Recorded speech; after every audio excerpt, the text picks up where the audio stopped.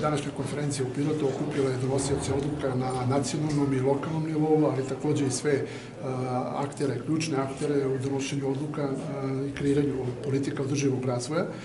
Grad Pirot je primer grada koji brine o svojoj budućnosti, o politikama vezanih pre svega za poljoprivredu, za obrazovanje i za turizam. Ove tri teme su ključne teme današnje konferencije gde ćemo imati prilike da razmenimo mišljenja sa državnim sekretarima iz Ministarstva poljoprivrede, Ministarstva obrazovanja. Takođe smatramo da je mjera 7 IPAD fonda vrlo važna i značajna za pirotsko područje zato što je pretežno ruralno područje. Turizam je ogroman potencijal koji iz godine u godine samo raste. S druge strane, obrazovanje je ključ ostanka mladih ljudi ovde u Pirotu, a takođe i poljoprivreda kao resurs koji tekako može dakle, da u budućnosti donosi mnogo veći prihod e, gradu Pirotu.